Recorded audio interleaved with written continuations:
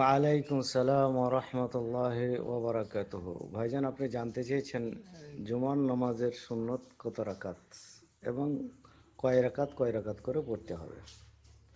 ভাইজান, সর্বপ্রথম একটা কথা বলে রাখি জুমান নামাজের পূর্বে, কাবলাল জুমা, যেমন আমাদের কিছু কিছু মানুষের মধ্যে প্রচলন আছে যে কাবলাল জুমা চার রাকাত। জুমার পূর্বে চার রাকাত সুন্নত।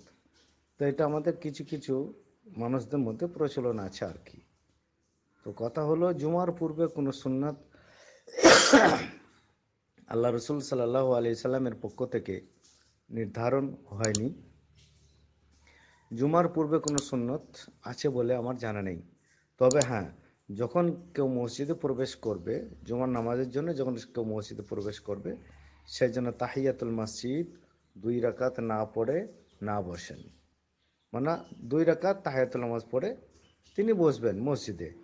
এটা হচ্ছে মসজিদের হক বা মসজিদের আদব। এখন তিনি দেখছেন জুমার আজান হয়নি, তো তখন কি করতে পারেন তিনি? জিকির আজকারও করতে পারেন, কোরআন তেলাওয়াতও করতে পারেন। সোরা কাহাব তেলাওয়াত করবেন, সোরা কাহাব তেলাওয়াত করা মুস্তাহাব। কিংবা আপনি দুই দুই রাকাত করে যত ইচ্ছা তত নফল পড়তে পারেন, যতটুকু আল্লাহ আপনাকে তৌফিক দেবে। তবে নির্দিষ্ট কোনো রাকাত সংখ্যা কাবলাল জুমা বর্ণিত হয়নি। এখন বা আদাল জুমা জুমার পরে কয় রাকাত?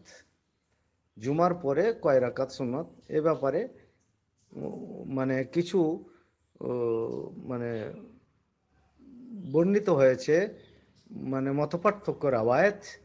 কোনো রাওয়ায়ত এসছে দুই রাকাত, কোনো রাওয়ায়ত এসছে চার রাকাত। হ্যাঁ কোনো রাওয়ায়তে দুই আর চারের মধ্যে পার্থক্য করা হয়েছে।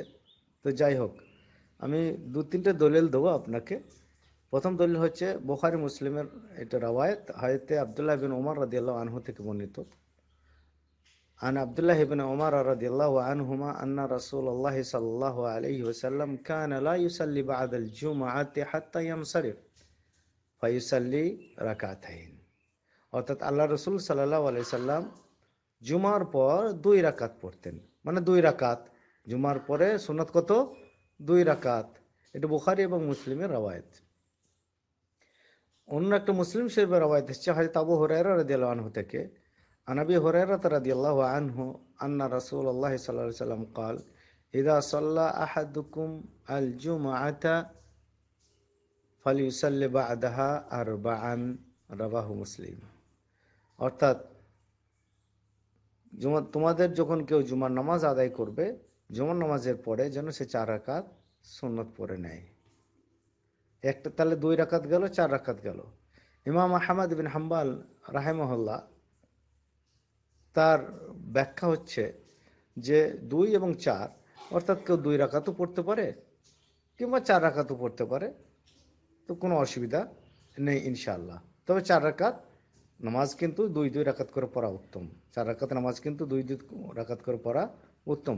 তো ইমাম আহমদ হাম্বাল, ইনি এখতিয়ার যে কেউ দুই রাকাতও পড়তে পারে, চার রাকাতও পড়তে পড়তে পারে। চার নম্বর মত হচ্ছে তফরিক অর্থাৎ কেউ যদি মসজিদে পড়েন জুমার সুন্নত, জুমার নামাজের পরে সুন্নত, তাহলে সে চার রাকাত পড়বেন। আর তিনি যদি বাড়িতে পড়তে চান, তাহলে দুই রাকাত পড়বেন।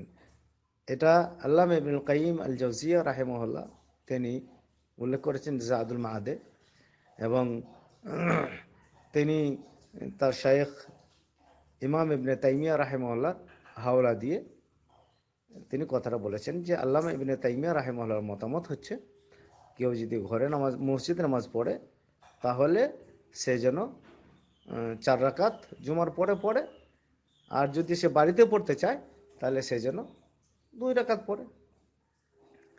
তো তার দলিল হচ্ছে, হাজরত আবদুল্লাহ ইবেন ওমর রাদিল্লা আনহর, আনহুমার হাদিস থেকে যে হাদিসটি আবু দাউদ, ইমাম আবু দাউদ বর্ণনা করেছেন।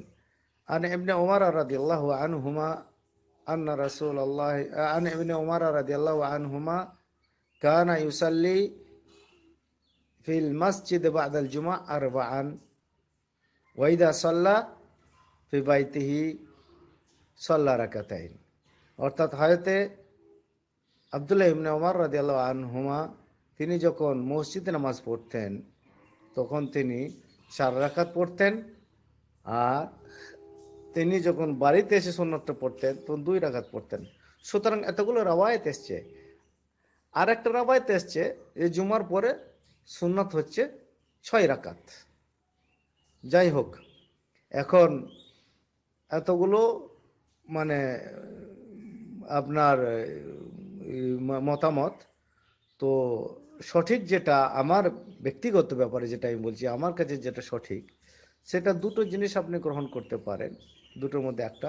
একটা হচ্ছে আত্মাখির অর্থাৎ আপনি এখতিয়ার করতে পারেন, দুই রাকাত পড়ব কিংবা চার রাকাত পড়ব, সেটা মসজিদ ঘরে হোক। মসজিদ ঘরে হোক, দুই রাকাতও পড়তে পারেন, চার রাকাতও পড়তে পারেন। কিংবা আত্তাফরিক। আর তাফরিক অর্থাৎ আপনি পার্থক্য করছেন যে আমি মসজিদে পড়লে চার রাকাত পড়ব, ঘরে পড়লে দুই রাকাত পড়ব, আপনি তাফরিকও করতে পারেন।